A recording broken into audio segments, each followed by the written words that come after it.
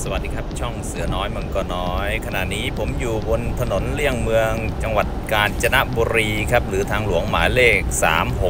367 มุ่งหน้าไปทางแยกแก่งเซียนอำเภอเมืองจังหวัดกาญจนบุรีครับมาจากแยกวังสารพีกำลังพาทุกท่านเดินทางไปสวนอาหารธรรมชาติครับอยู่ที่ริมแม่น้ำแควใหญ่ เดี๋ยวเราดูเส้นทางเดินทางกัน อย่างไรก็อย่าลืมกดติดตามเป็นกำลังใจให้กับช่องเสือน้อยมังกรน้อยด้วยนะครับ เราเดินทางดูเส้นทางครับ ไปสวนอาหารธรรมชาติ อันมีชื่อของจังหวัดกาญจนบุรีกันอยู่ที่ริมแม่น้ำแควใหญ่ มุ่งหน้าตรงไปครับ ข้างหน้าแยกแก่งเซียนเลี้ยวซ้ายไปตัวจังหวัดกาญจนบุรีเลี้ยวขวาไปอำเภอศรีสวัสดิ์ครับตรงไปอำเภอไซโยกครับ แยกแก่งเซียนเราขับตรงไปครับ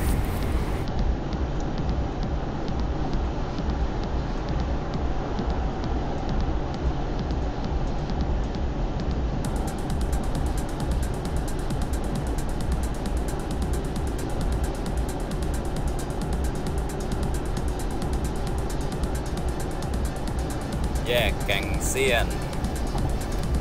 ตรงไปครับไปปิเลาะ รงไปครับ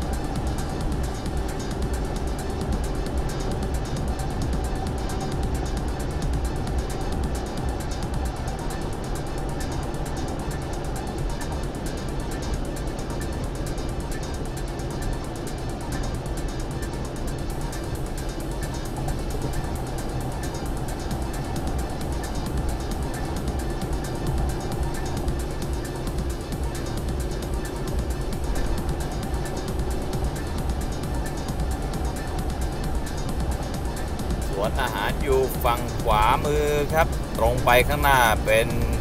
สัญญาณไฟจราจรเราชิดขวาไปครับ ไปกับรถข้างหน้า ชิดขวาไป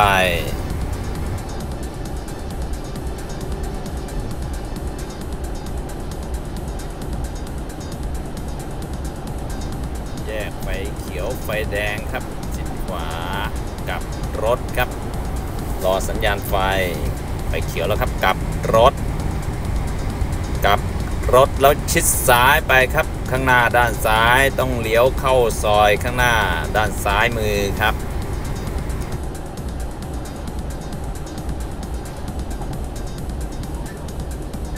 เลี้ยวซ้ายครับเลี้ยวซ้าย เข้าซอยครับ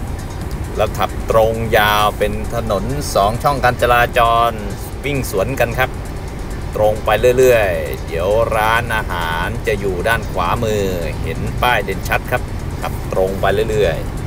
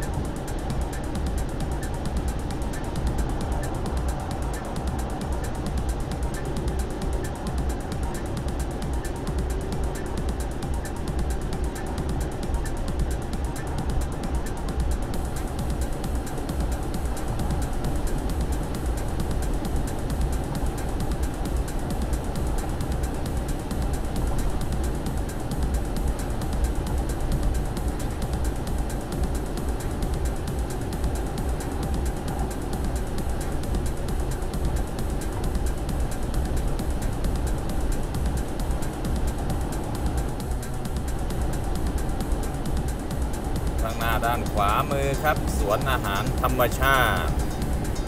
เราเลี้ยวเข้าไปเลยครับเลี้ยวขวาสวนอาหารธรรมชาติ ธรรมชาติจริง ๆ ครับ ขับตรงไปข้างหน้าก็ถึงแล้วครับ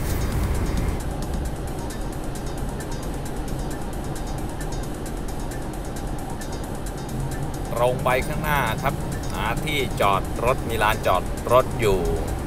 ขณะนี้ผมพาทุกท่านเดินทางมาถึงสวนอาหารธรรมชาติอำเภอเมืองจังหวัดกาญจนบุรีเป็นที่เรียบร้อยแล้วนะครับ